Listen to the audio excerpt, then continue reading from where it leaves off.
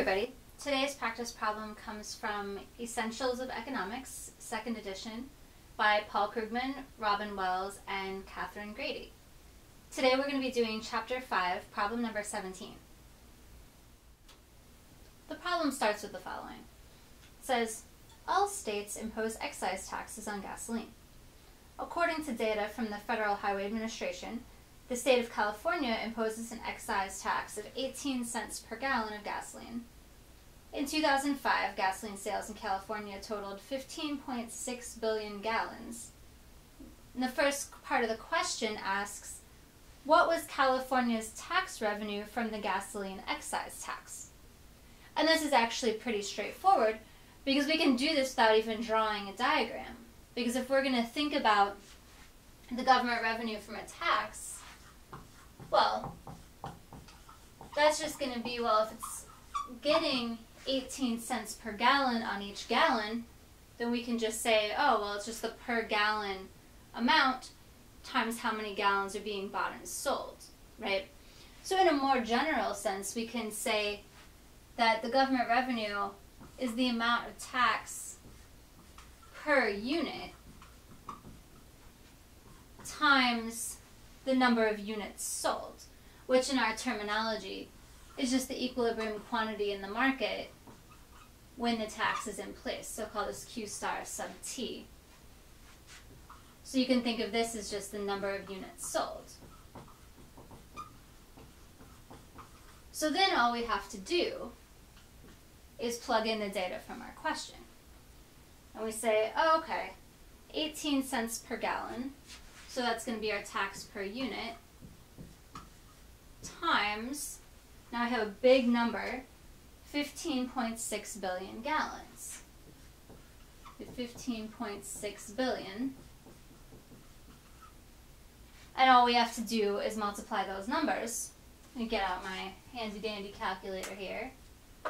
And say, alright, let's figure out what this comes out to.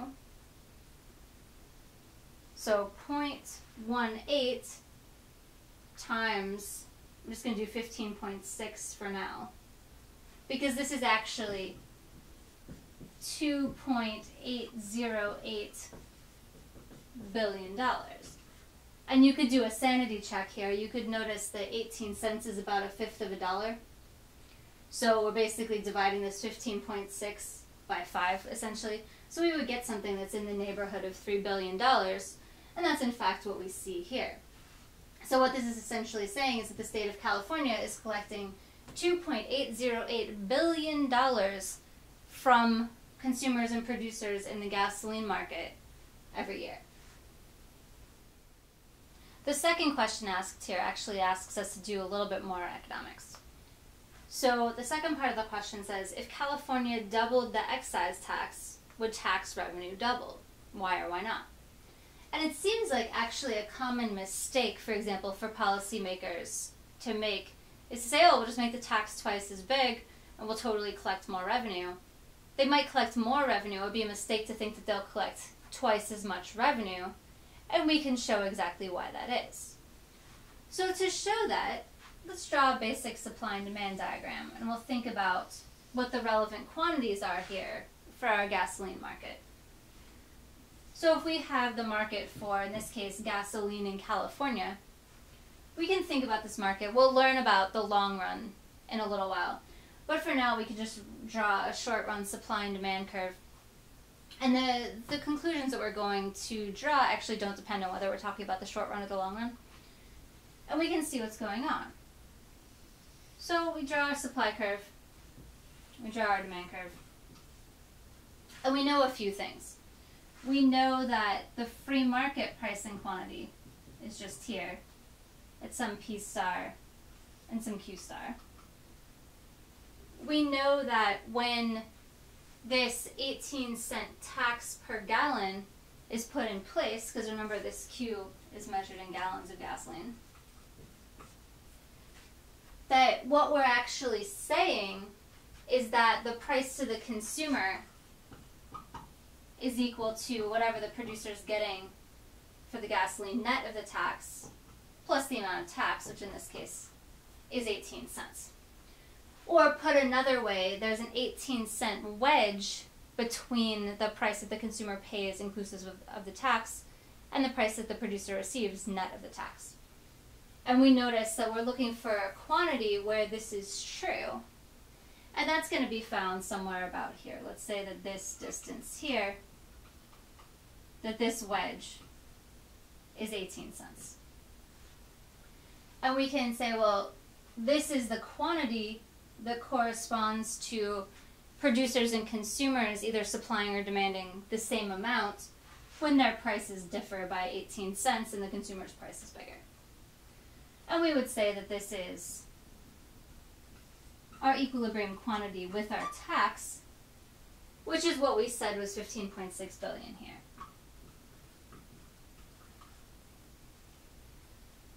And we could see if we wanted to show graphically what our government revenue looks like, we could actually just draw a rectangle like this. And this up here would be the price that the consumer pays. This would be the price that the producer gets net of the tax. And we could say that the area of this rectangle is equal to government revenue simply because the area of a rectangle is length times width. And what we're seeing here is that the area of this rectangle is this 18 cents, which is one of the dimensions, times 15.6 billion, which is exactly what we calculated here. Because this is in fact our t times our q star sub t. So we can think about what happens when this tax doubles. When this tax goes from 18 cents to 36 cents, the tax revenue is still going to be this formula, except neither one of these numbers is going to be the same. Because what we're going to see, if our tax doubles to 36 cents, now our equilibrium quantity is going to be at the point where there's a 36 cent wedge between the price that the consumer pays and the price that the producer gets, or in related terminology, the demand price and the supply price. We say, well, now, when we're interested not in our 18 cent wedge, but in our 36 cent wedge, our equilibrium quantity with the tax, call this Q sub T2 star, is going to be lower, simply because larger taxes result in less economic activity, less being bought and sold. So when we see this, then we can again say that this rectangle here is our tax revenue. But this rectangle is not going to be twice as big as the original.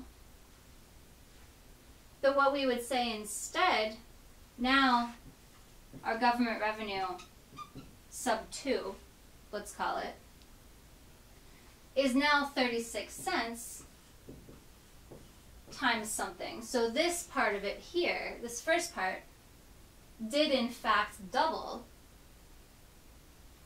But we're multiplying this by something that's less than 15.6 billion. We don't know how much less. But what we're going to see, if this thing is getting smaller and this is getting twice as big, that our government revenue in this second tax case is actually going to be less than twice this 2.808 billion dollars. That we can't simply double our tax revenue by doubling the amount of the tax unless there's a reason in our market that the number of units sold once we make the tax larger wouldn't actually decrease. Technically, it's even possible to get less government revenue out of a tax once you make that tax bigger. So here we showed with certainty, or with near certainty as long as we have an upward sloping supply curve and a downward sloping demand curve, that if we were to double the tax, we less than double our tax revenue under certain situations, it may even be the case that doubling our tax results even in less revenue than we started with before. And that would happen if our reduction in the quantity transacted was really big compared to the size of the tax increase. So for example here, if we doubled our tax from 18 cents to 36 cents, and our quantity went down, our equilibrium quantity with the tax decreased and was more than cut in half. So if this became something less than 15.6 divided by 2, we would actually get not only less than twice the revenue we started with, but even less than the revenue we started with in and of itself.